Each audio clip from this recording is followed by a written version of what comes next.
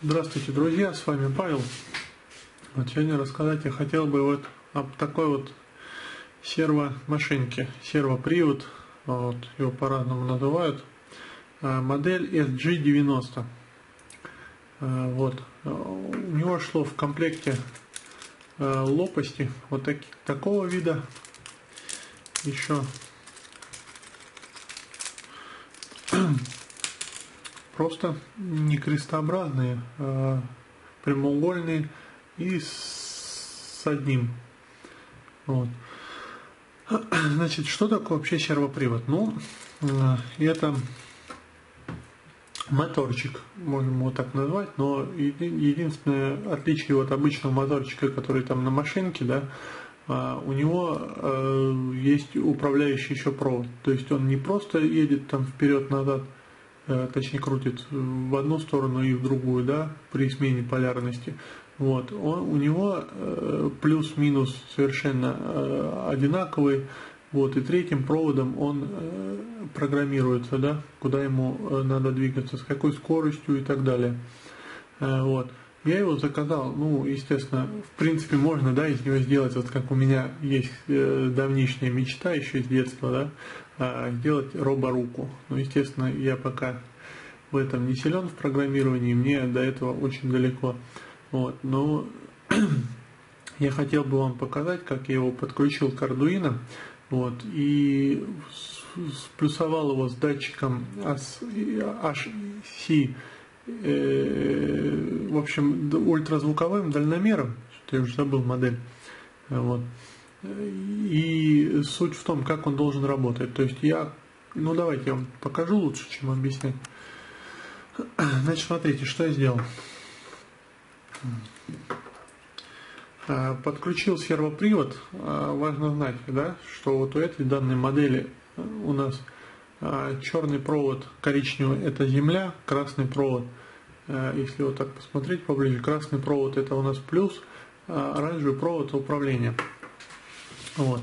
Подключил я его, значит, э, к Arduino. У нас будет Arduino Nano. Э, вот.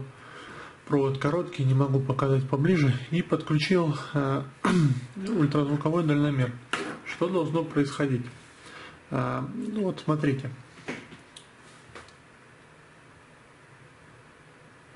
А, то есть, как я руку подвигаю, видите, у нас сервопривод двигается. Отпускаю, он назад отходит, он шатается.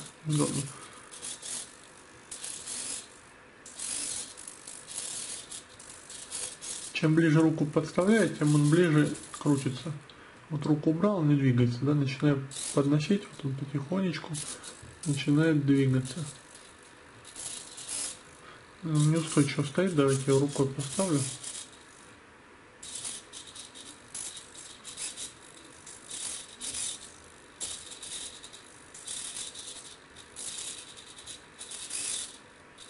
Вот таким образом работает.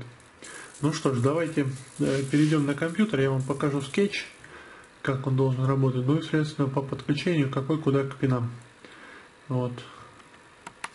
Так, ну что ж, друзья, вот мы перешли на компьютер, я подключал к Arduino Nano, вот, но скетч абсолютно не меняется.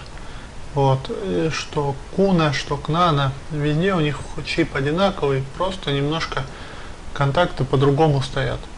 Вот. Я такую схемку скачал, чтобы на ней показать, э, что я куда подключал. Так, ну, смотрите. Сейчас вот она схемка.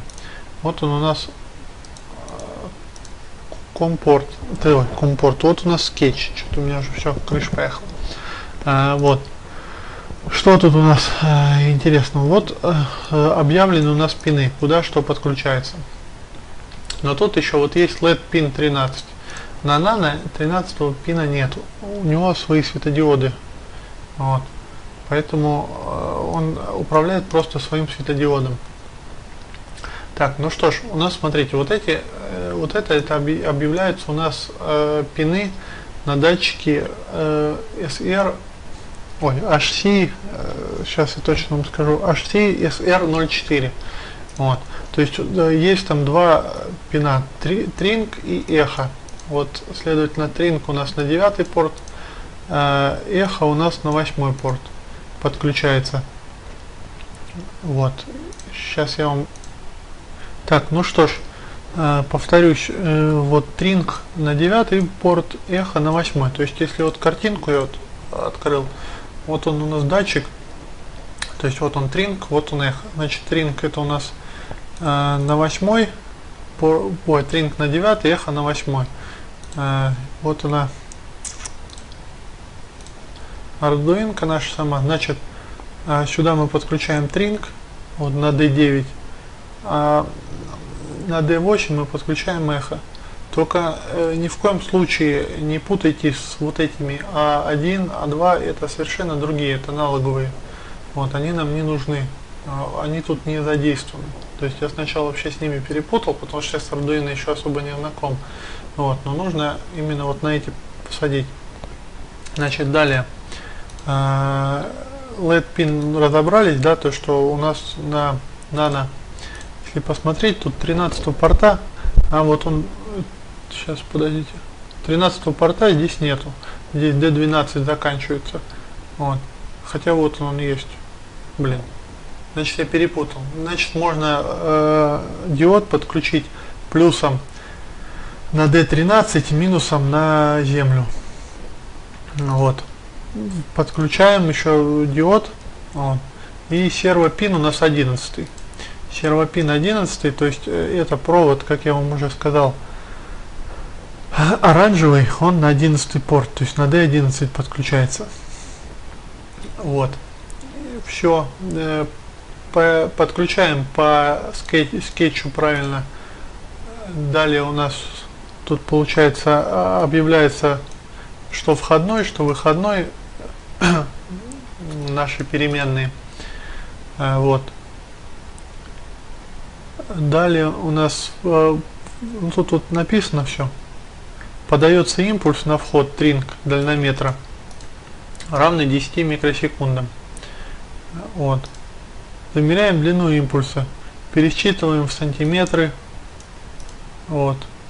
Если дистанция менее 4 см, серво в положении 0 градусов, то есть она дальше не двигается. Вот. Ждем одну секунду, следующий импульс 0,1 миллисекунду. Следующий импульс может быть излучен только после исчезновения эха от предыдущего.